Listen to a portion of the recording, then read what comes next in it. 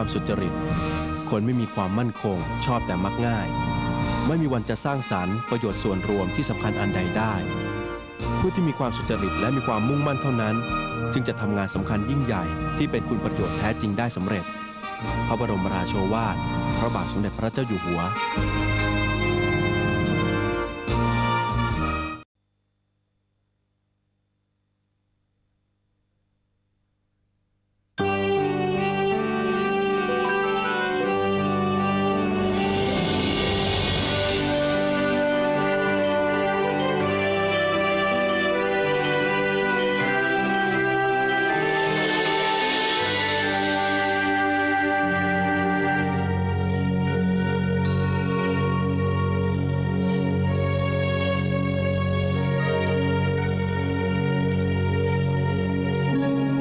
ความประทับใจยิ่ง ปรากฏสู่สายตาชาวพม่า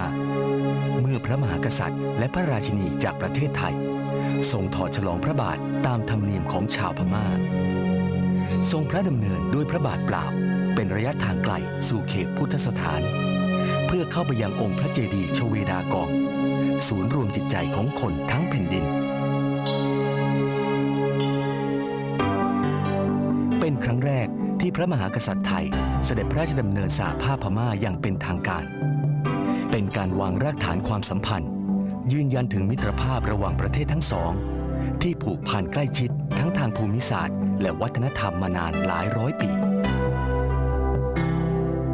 ข้าพเจ้าถือว่า การรับรองอย่างเอื้อเฟื้อเผื่อแผ่เช่นนี้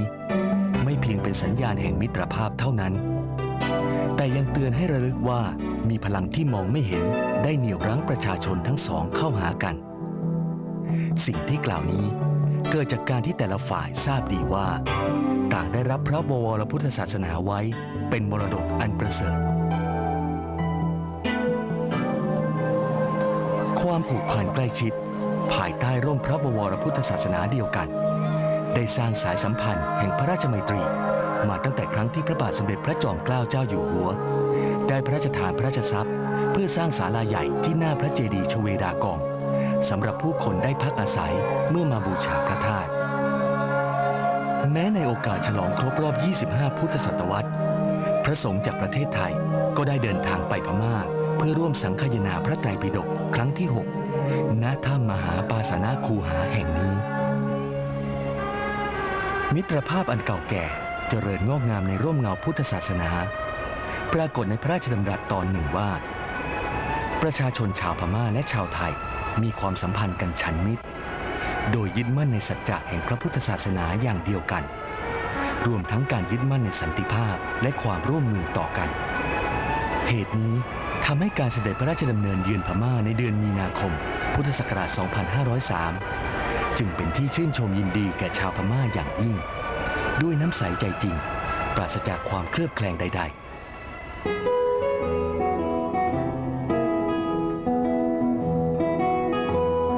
หนังสือพิมพ์เดอะการ์เดียนซึ่งมีอิทธิพลอย่างยิ่งในพม่าถึงกับกล่าวว่า ทรงมาเยือนพม่าด้วยไมตรีจิตอันผุดพอง และมิได้เป็นการเยือนเกี่ยวกับกรณีพิพาทอย่างหนึ่งอย่างใด หรือมาเสนอในเรื่องใด ๆ ต่อเราเลย สาระสำคัญที่ทั้งสองพระองค์เสด็จมาเยือนพม่านั้น เป็นการปลูกฝังมิตรภาพและความเข้าใจอันดีต่อกัน ข้าพเจ้ารู้สึกปลื้มใจอย่างยิ่ง เมื่อได้เห็นประชาชนชาวพม่า แสดงไมตรีจิตต่อเราทุกหนทุกแห่ง ข้าพเจ้าถือว่าการแสดงน้ำใจดีเช่นนั้น ย่อมเป็นนิมิตหมายว่า ชาวพม่าและชาวไทยทั้งหลาย ต่างมีความเห็นใจซึ่งกันและกัน ต่างไม่เป็นอมิตรคิดร้ายต่อผู้ใด ไม่โลภหลงอยากได้สิ่งใดโดยไม่ชอบธรรม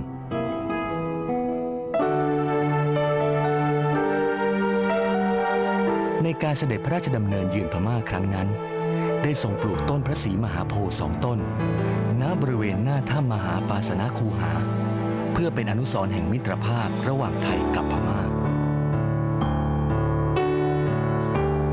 จากวันนั้นนับเวลาล่วงมาถึง 47 ปี พระศรีมหาโพธิ์ได้เจริญเติบโต แผ่ร่มเงาแห่งมิตรภาพระหว่างประชาชาติทั้งสอง แสดงให้ปรากฏแก่สายตาของโลกว่า เป็นพื้นบ้านที่ประเสริฐ และถ้าเหตุการณ์ข้างหน้าจะคลี่คลายไปประการใด ก็ให้ตั้งอยู่ด้วยกันได้โดยสันติเป็นนิจและประกอบกิจอันเป็นประโยชน์ซึ่งกันและกันเป็นนิรันดร์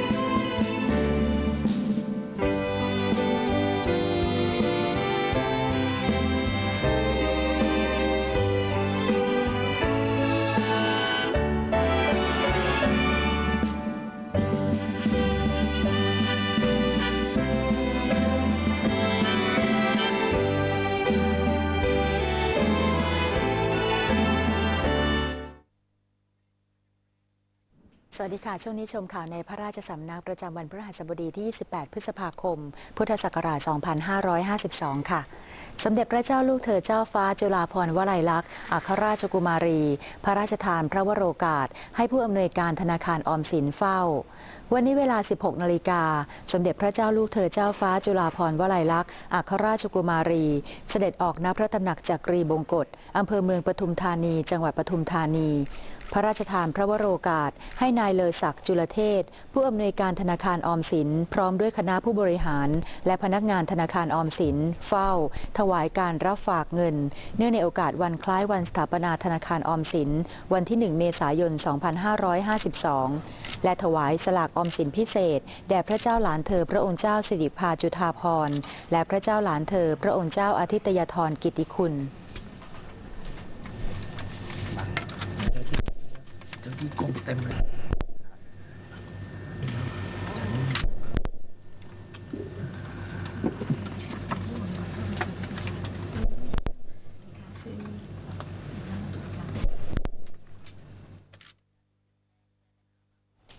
ระเจ้าวรวงเธอพระองค์เจ้าสมสวลีพระวรราชาธินัดดามาศทรงประกอบพิธีหล่อพระพุทธรูปปางปฐมเทศนา วันนี้เวลา 14 นาฬิกา 28 นาที พระเจ้าวรวงเธอพระองค์เจ้าโสมสวลี พระวรราชาธินัดดามาศเสด็จไปยังวัดพระรามเก้าการจนาพิเศษเขตห้วยขวาง ทรงเป็นประธานประกอบพิธี หล่อพระพุทธรูปปางปฐมเทศนา ธรรมจักรกับปวัตนสูตร ซึ่งพระครูสังฆรักษ์บุญทรง อุปัสโม วัดทรงเวตาวรานวนารามอำเภอสัตหีบจังหวัดชนบุรี ร่วมกับคณะสิทธิานุสิทธิ์และผู้มีจิตศรัทธาร่วมกันจัดสร้างขึ้นเพื่อถวายเป็นพระราชกุศลแด่พระบาทสมเด็จพระเจ้าอยู่หัว เนื่องในโอกาสที่ทรงเจริญพระชนมพรรษา 80 พรรษา พุทธศักราช 2550 โดยพระพุทธรูปปางแสดงปฐมเทศนานี้ สร้างด้วยโลหะทองสำริดขนาดหน้าตักกว้าง 84 นิ้ว สูง 109 นิ้ว เพื่ออัญเชิญไปประดิษฐานณป่าอิสิปตนะมฤคทายวัน เมืองพาราณสี ประเทศอินเดีย ภายใต้โครงการหล่อพระพุทธรูปจำนวน 4 องค์ เพื่อสันติภาพและความความสงบสุขแห่งมวลมนุษยชาติ ซึ่งที่ผ่านมาได้จัดสร้างแล้วเสร็จ3องค์ คือพระพุทธรูปปางประสูตรประดิษฐานที่วัดไทยกบิลพัทประเทศเนปาล พระพุทธรูปปางตรัสรู้ ประดิษฐานที่พุทธคยาเมืองคยา ประเทศอินเดีย และพระพุทธรูปปางปรินิพาน ประดิษฐานที่วัดกุสาวดี พุทธวิหาร เมืองกุสินารา ประเทศอินเดีย เป็นที่เรียบร้อยแล้ว สำนักงานกปรจัดประชุมคณะกรรมการตัดสินการประกวดผลงานตามปรัชญาเศรษฐกิจพอเพียง ครั้งที่ 1 ประจำปี 2552 วันนี้ที่สำนักงานคณะกรรมการพิเศษ เพื่อประสานงานโครงการอันเนื่องมาจากพระราชดำริ หรือกปร นายสุเมธตันติเวชกุล เลขาธิการมูลนิธิชัยพัฒนา ในฐานะประธานคณะกรรมการตัดสิน การประกวดผลงานตามปรัชญาของเศรษฐกิจพอเพียง ครั้งที่ 2 เป็นประธานการประชุม โดยมีผู้แทนจากหน่วยงานต่างต่างๆ ที่เกี่ยวข้อง และผู้ทรงคุณวุฒิเข้าร่วมประชุม เพื่อรับทราบถึงความก้าวหน้าในการดำเนินงานดังกล่าว